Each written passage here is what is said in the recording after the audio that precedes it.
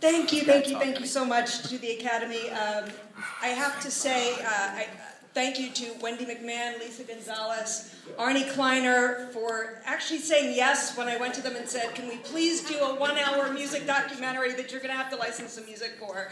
Um, to my incredible team, Lisa Gonzales, uh, Jose Mayorquin, Peter Weiner, who couldn't be here tonight, um, my camera god, Webb Weber, who should be up here and should be getting this as well. Um, and I have to thank, God, all of the artists who let us into their homes and told us their stories, and photographer Henry Diltz, who gave us so many incredible images. We couldn't have done this without him. Uh, to all of the artists from Laurel Canyon who are not with us today, um, Arthur Lee, we lost seven years ago today from love. So thank you to all of them. Thank you to Laurel Canyon for shining its magic on us. I love this. Thank you so much.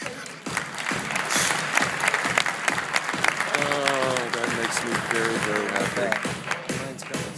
Individually, they are accomplished journalists and TV personalities, but together they are a force of the land.